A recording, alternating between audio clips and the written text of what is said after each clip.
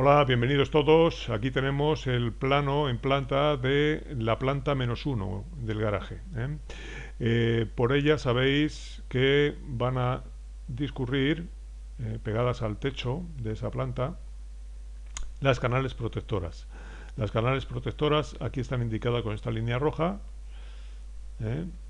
Y como veis lo que van a unir es las BTVs, una se encontraría aquí, con las respectivas centralizaciones. Esta en concreto une la del portal 2 ¿eh? y la del portal 3. Y esta que tenéis aquí une la de el portal 4, portal 1 y se bifurca aquí para la centralización de mancomunidad y la, el equipo de medida indirecta del garaje. Muy bien, pues vamos a ver cómo tenéis que resolver esto. Como veis es muy sencillo porque tenéis que simplemente trazar una línea ¿eh? doble. ¿eh? lo podéis hacer con, fase, con el, con el comando desfase. Y simplemente es BTV a las diferentes concentraciones.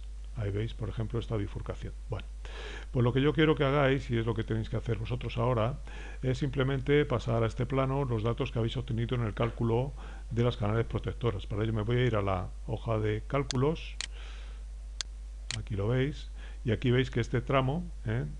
por el cual van a transcurrir 3 eh, 4 LGAs, la 1, la 2, la 5 y la 6, pues sabéis que le corresponde una bandeja, una, una bandeja, no, una canal protectora de 70 por 200 milímetros. Bueno, pues entonces lo vamos a indicar en el plano. Eso es lo que yo quiero que hagáis en esta fase. ¿De acuerdo? Para que quien vaya a montar esa canal protectora, pues inequívocamente eh, tenga ese dato ahí reflejado en el plano. Y para ello os vais aquí al comando texto, pincháis por ejemplo aquí, dais intro. Y en lugar, como veis, el, el texto sale muy grande, lo vamos a disminuir a punto 25, le damos intro. Y ahí vamos a poner 70 por 200 milímetros. ¿De acuerdo? Aceptamos, alargamos el texto y se nos queda ya así. Perfecto. Bueno, pues entonces lo que vamos a poner es ese texto en línea con esa canal protectora. Y para ello lo vamos a girar 90 grados. Lo desplazamos ahí y aquí veis Vamos a girarlo al contrario. ¿eh?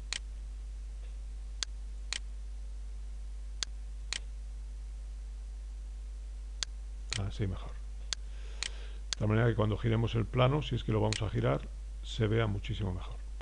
Ahí lo tenéis. Bueno, pues ese tramo ya sería, sabemos que es de 70 por 200. Bueno, pues lo que hacéis es que copiáis esto, copiáis y pegáis.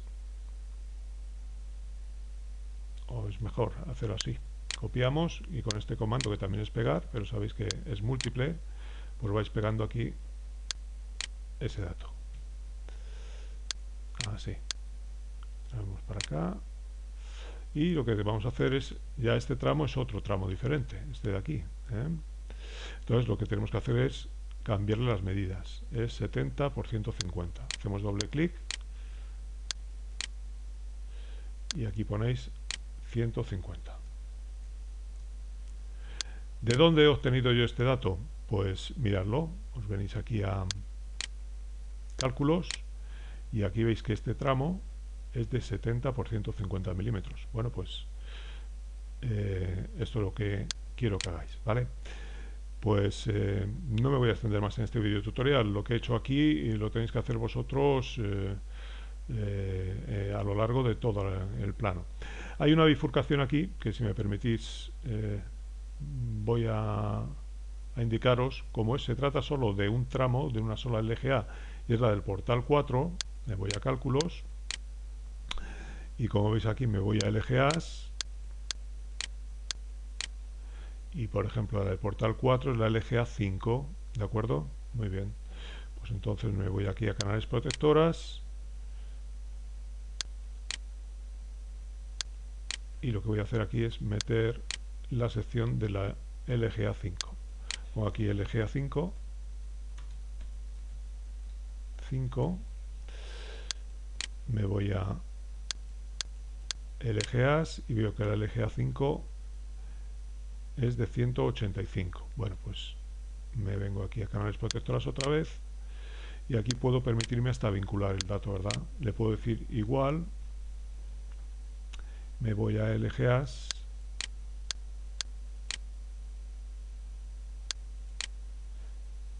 pincho la sección de la LGA5 que es esta.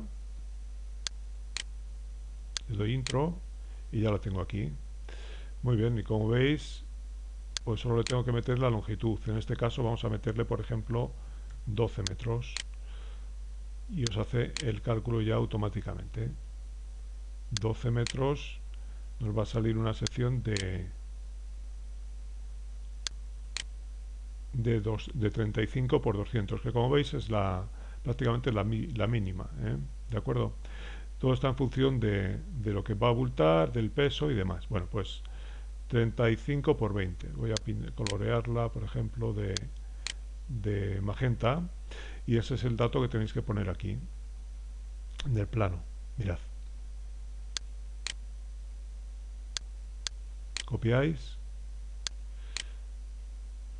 desde aquí lo pasáis por ejemplo aquí.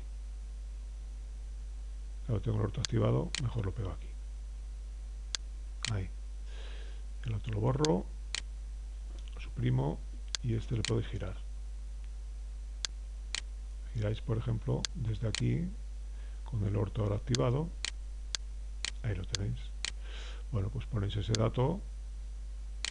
No sería ya 70 por 150 puesto que el cálculo era de 35 por 200 pues 35 por 200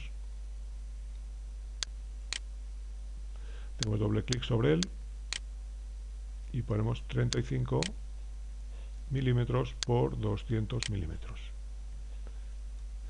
O lo que es lo mismo 3,5 por 20 centímetros.